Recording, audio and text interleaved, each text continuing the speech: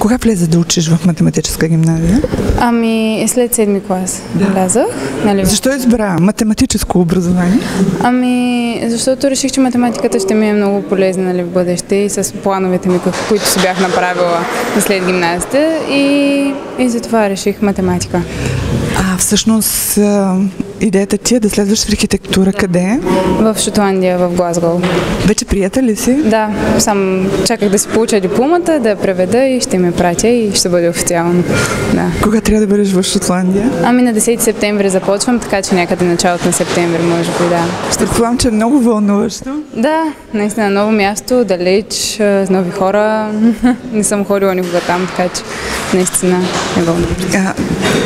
Към каква точно специалност в архитектурата ще се ориентираш или още рано да говорим на тази тема? Ами да, мисля, че още е рано и аз не съм толкова много добре запозната.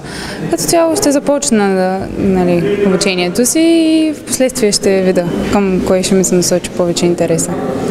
А, казаха също така, че най-добрите оценки са по английски язик за хора от математическа гимназия. Не е странно в никакъв случай, защото се знае какви са ви бъдещите планове. Добре ли си с английския? Да, също бях на матура по английски и имам много добър резултат, нали, много съм доволна.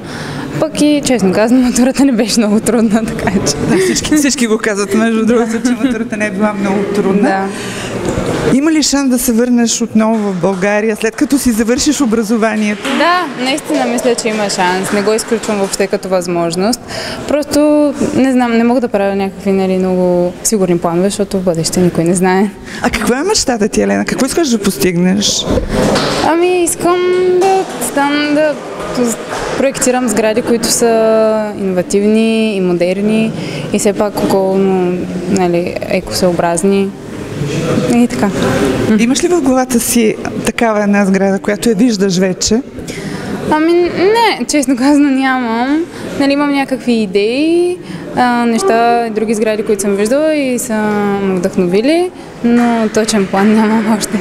Каза, че обичаш да рисуваш, иначе рисуваш ли за удоволствие? Да, от още от много малка, не съм буквално, откакто се помня, винаги рисувам от детската още.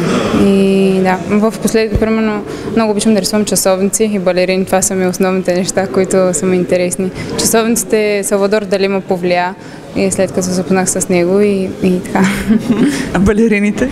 Балерините, не знам, просто ми харесват движенията им и мисля, че е много, просто много красиви.